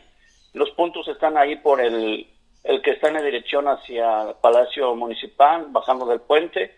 El otro está en el Boulevard Cuauhtémoc. O sea que realmente he visto mucho chiquillo que anda trabajando y que los padres están explotándolos porque realmente yo los he observado y luego se acercan con los niños y le dicen cuánto traes, cuánto te dieron. Y he observado que también pues ninguna autoridad está tampoco al pendiente de eso. Esos niños están acostumbrando a ganar dinero desde chiquillos tienen cinco años, seis años, otros siete, y pues ¿qué vamos a hacer? No van a la escuela, no estudian, al rato vamos a estar llenos de gente que no tiene ninguna preparación y el país qué va a hacer de él. Entonces, el DIF debe de poner atención en todos esos tipos de casos, ¿verdad? Totalmente de acuerdo. Porque, porque realmente no sé qué vaya pueda pasar con esa juventud el, el, día de mañana. De por sí estamos muy mal en tecnología, en, en gente preparada. Ahora imagínese este futuro que espera a estos jóvenes, ¿verdad? Bueno. Totalmente de acuerdo, señorón. Totalmente de acuerdo. Los niños requieren atención y una atención expedita, inmediata, porque ahí están las próximas generaciones. Cuando los dejamos sin atención, sin amor, sin cariño, sin educación, sin comer, eh, esos niños van a ser los eh, próximos, no quiero decir puntos suspensivos del mañana. ¿Por qué? Como lo estamos viviendo en este momento, ya lo hemos vivido y no aprendemos de esa experiencia, seguimos todavía siendo injustos con los niños, somos capaces de pasar y ver que está un niño indígena, por ejemplo, y bueno, dejarlo al amparo, ahí está su mamá, ahí está su papá, bueno, pues a ver, hay que se las eh, avengan, yo ya tengo suficientes problemas, no creo que sean suficientes problemas, pueden ser peores todavía si no tomamos en cuenta a la niñez. Gracias, señorón, por su comentario. Gracias, señor. Hasta luego. Muy amable. Gracias y muy buenos días. Ojalá, que eh, es una palabra árabe que significa Dios quiera, ojalá, la autoridad del sistema integral para la familia en sus tres órdenes, municipal, estatal, federal, tome en cuenta esta llamada que hacen hoy nuestros eh, amigos radioescuchas y tomen en cuenta esto. Dos recomendaciones importantes que le hace su sociedad. Otra llamada telefónica a sus órdenes. Muy buenos días. Ah, buenos días, señor Dillon. ¿Cómo está? Qué gusto saludarle. Pues como siempre, tratando de escucharlo, es muy interesante. Muchas gracias. Le, su programa es su manera de, hacer las cosas. Le agradezco mucho sus comentarios, pero más su dicción. Tiene usted muy buena voz, ¿eh? le agradezco muchísimo. Me recuerda a mis maestras ahí cuando nos enseñaban morfosintaxis, español. Yo tuve grandes, grandes maestras y con muchísimo cariño. Bueno, adelante, le escucho. Bueno, muchas gracias por, por es, un cumplido muy bonito de parte de su parte. Gracias. Este, em, eh, acabo de escuchar al, señor de los derechos humanos. Sí. Este, nosotros como comunidad participamos mucho en las mesas de trabajo que se, estaban haciendo en la Canaco, desgraciadamente ahorita pues, está suspendido esto. Este, pero eh, se sataniza mucho a la policía municipal sobre todo. Y tienen, y, tienen, son los primeros respondientes. Este, gente buena y gente mala hay en todas partes. En todas las, en todas partes. Pero ellos, desde que salen a la puerta de tu casa, están exponiendo su vida por la ciudadanía la mayoría con el corazón en la mano. ¿Por qué? Porque eh, hablan de ellos como si fueran unos ignorantes. Y fíjese que no. Yo tengo mucha, mucha, mucha comunicación con estas gentes. Y a nosotros aquí en la comunidad, bueno, tenemos una tranquilidad increíble gracias al, al, buen servicio de ellos. Y, este, y hay mucho abogado entre los policías hay abogados, hay contadores, hay profesionistas que están ahí por el amor al, a ser servidores públicos y a la camiseta como policía. Y, este, y no puede imaginarse a cuántas cosas se enfrentan, a cuántas cosas se enfrentan, este, tanto, tanto de, de, de las mismas, el ministerio público y jueces corruptos que llegan con, con, los um, bribones, eh, con todas las evidencias, y no sé si por temor, por cobardía, por este, o por, o por corrupción, buscan una manera e inmediatamente lo sueltan. ¿Dónde queda el esfuerzo de esas gentes, de esos policías? Nos consta, porque, porque ha habido detenciones, detenciones en la comunidad, gracias a Dios, no son muchas, este, en, que mujeres, mujeres, señoras, bueno, no se puede llamar señoras, mujeres, este, con toda alevosía se les va encima a los policías después de que pues, los llamaron para que las defendieran de que las estaban pegando o alguna cosa, se les va encima a los policías para que el policía les dé el aventón y filmarlo y perjudicarlo. Entonces, deberían de, tener los policías, primero que nada, las pistolas eléctricas para desde lejos inmovilizar a un bribón, como lo hacen los norteamericanos. ¿Por qué? Para que no haya me tocaste, me mentaste, me pegaste. Y fuiste injusto. Es lo que yo pienso. Y a los jueces y ministerios públicos, no sé si recuerda usted, una jueza en la que llegó, llegaron con un, un fulano con un cadáver en la maleta y la jueza lo soltó porque dijo que no, no podían comprobar que lo había metido ahí. No sé si lo recuerda. Sí, cómo no, claro que ah, sí. Ah, bueno, es una estupidez, perdóname la expresión. ¿O cómo le podemos llamar a eso? ¿Dónde están los derechos humanos para defender los derechos humanos de los policías? Claro, en una y otra parte, claro, una, de una y no, otro no, sentido. No, no, no, no es posible, es, es, es demasiado. Ahora, hace poco, un escándalo, un escándalo, por una desgracia muy grande que pasó, que para mí fue un daño colateral que puede pasarle a cualquiera. Muy triste. ¿Por qué? Porque mm, se paliaron a una criatura que murió. Pero a ver, si la mamá oyó balazos, ¿por qué permitió que los niños siguieran jugando, jugando en el patio? Eso es una, bueno, eh, es una, tal vez no sea, van a decir muchas gentes, ay, qué, qué, qué, qué cosa tan tonta. No, no, qué cosa tan tonta hacer culpables a los policías que iban cumpliendo con su trabajo con un tipo que ya les había disparado y que, y que, y que tenía que volverles a disparar para que fuera justificado que les dispararan ellos. No se vale, señor. No se vale. Tienen una, una, ellos cumplen con su trabajo, la mayoría bien, que hay gentes que se meten ahí para tener el, el, el, el espacio y el, el, permiso para perjudicar gente. Sí, es como en todas partes. Los hay en las iglesias, los hay en, en todas partes. Pero la mayoría son gente buena y gente que, vuelvo a repetir, expone como los bomberos, que exponen su vida por cualquiera todos los días. Pues es mi opinión. Y, ojalá que los derechos humanos se ocuparan también de los derechos de los policías y no los traten de, calificar como unos ignorantes. Puede usted, puede usted este, eh, comprobarlo. Mujeres policías que son psicólogas, que son este, eh, abogadas, diferentes. Compruébelo, por favor. Claro que sí, con mucho gusto. Un abrazo y felicidades por su programa. Gracias, muy amable. Agradezco su punto de vista y desde luego muy respetable como siempre, como el punto de vista de todos. Gracias y muy buenos días.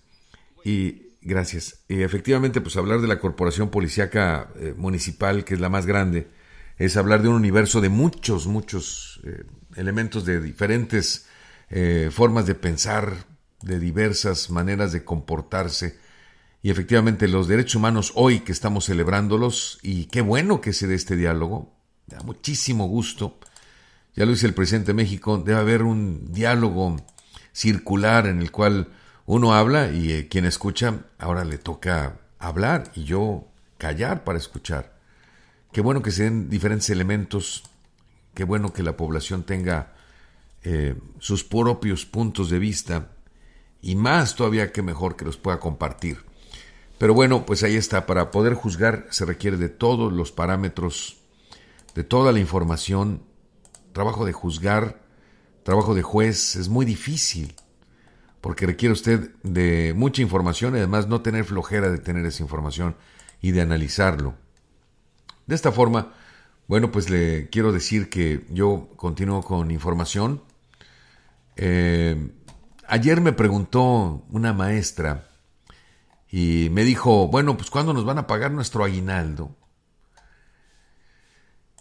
Quiero decirle a usted que hace unos instantes, hace unos minutos, el gobernador de Baja California subió a su página eh, un documento que seguramente, seguramente le va a interesar a usted. Me decía una maestra muy querida y apreciada, ¿cuándo nos van a pagar el aguinaldo? Y yo, como no tenía información, dije, pues ups, no, no sé.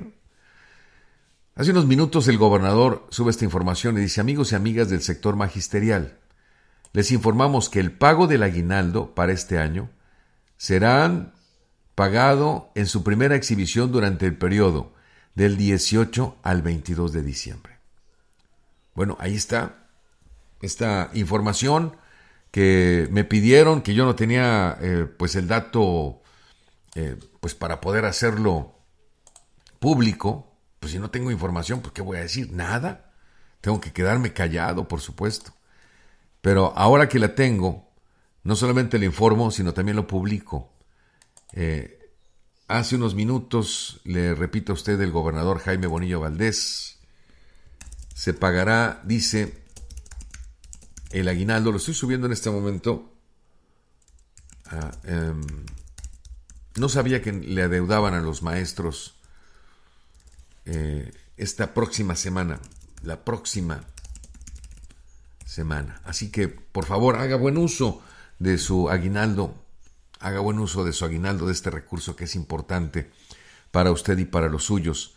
Eh, además, el gobernador se tomó la molestia, digámoslo así, de publicar un documento en el cual eh, está despachado el 9 de diciembre, es decir, ayer mismo, para que vea lo rápido que soy obteniendo información para usted. No, no es cierto, eso fue coincidencia. Fechado en Mexicali, Baja California, número de expediente 1938. Y bueno, eh, la dependencia de la Secretaría de Hacienda y Crédito Público lo firma el secretario de Hacienda Rodolfo Castro Valdés y el secretario de Educación Catalino Zavala Márquez, donde está dirigido este documento a las dirigencias de las organizaciones de sindicatos y eh, maestros del estado de Baja California.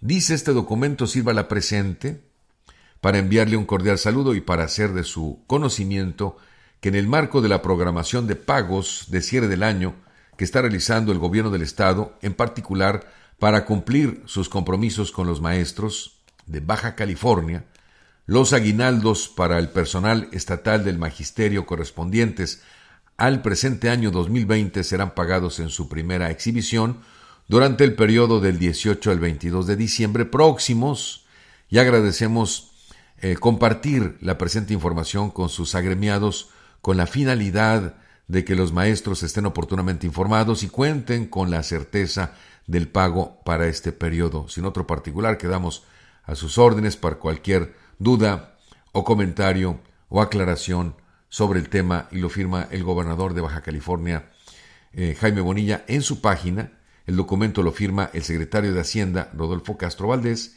y el secretario de Educación, Catalino Zavala Márquez. Servidos, maestros, ya me podrán invitar un muy buen desayuno, comida o cena en Las Vegas. No, no es cierto. Les agradezco mucho por preguntar. Bueno, pues ahí tiene usted, en este eh, caso, eh, resuelto esta eh, pues, petición que me habían hecho los maestros.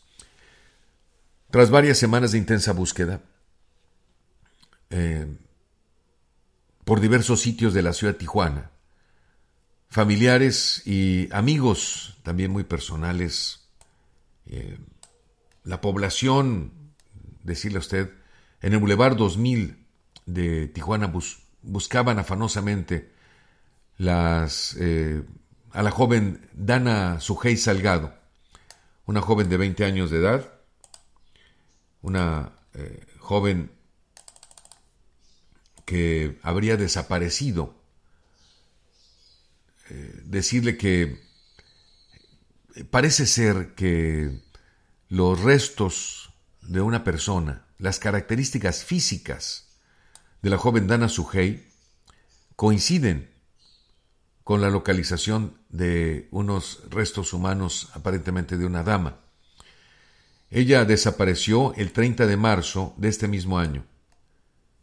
El hallazgo ocurrió en las inmediaciones de un camino de terracería en el área conocido como Que Casas del Boulevard 2000. Desconsolados los padres de la joven José Antonio Salgado y Sujei Dávalos lamentaron que desde el principio consideraron acudir al lugar del hallazgo en una zona despoblada, sin embargo, optaron por iniciar la búsqueda en otros sitios. Ellos durante dos meses realizaron una intensa búsqueda de la joven con apoyo de los colectivos, bloques de búsqueda del Estado. Este miércoles, Sujei Dávalos, madre de Dana, expresó su tristeza y obviamente molestia porque la Fiscalía General del Estado acusó no hizo esfuerzo alguno para localizar el cuerpo de la chica. Ya les hicimos el trabajo, mencionó.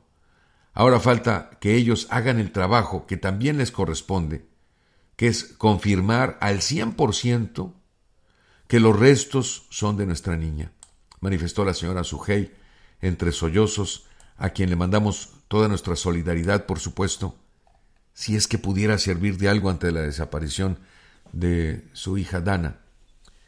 Y por supuesto, urgimos a las autoridades para que esto no tenga que ventilarse en los medios de comunicación y de manera inmediata se dé una respuesta a los eh, padres, esposos, hijos, familiares de personas desaparecidas. Ahora lo que tienen que hacer es emplear la técnica del ADN para conocer si es o no la joven que se estaba buscando tienen el ADN de los familiares, igualmente el ADN de los restos localizados, los exámenes eh, dentales que permiten también establecer a través de la eh, pericial la propia necropsia. Y si no es ella, entonces saber quién es esta joven localizada. En fin, ahí queda. Ayer le decía usted el gobernador de Baja California, dijo no somos suicidas, pero tampoco somos cobardes. Jaime Bonilla pronunció, se pronunció así por primera vez sobre el atentado contra el director de Fisamex, Manuel García, y aseguró que este hecho quedará esclarecido y se llegará hasta la última consecuencia.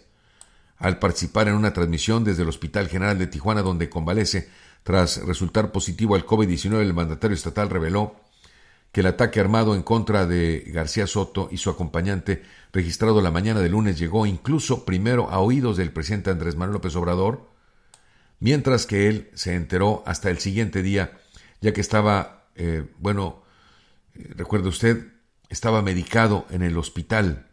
Expuso que el propio presidente de la República le hizo llegar un mensaje de preocupación, tanto por el hecho criminal como por una situación de salud ya que afirmó que durante su reciente gira por la entidad le informó los trabajos que hacía su administración en conjunto con la empresa Fisamex para auditar y cobrar adeudos millonarios por parte de algunas empresas. Reiteró, no somos suicidas, pero tampoco cobardes. Así que mencionó que continuarán los cobros y por supuesto también la empresa seguirá realizando las auditorías para encontrar aquellos que son los deudores mayores.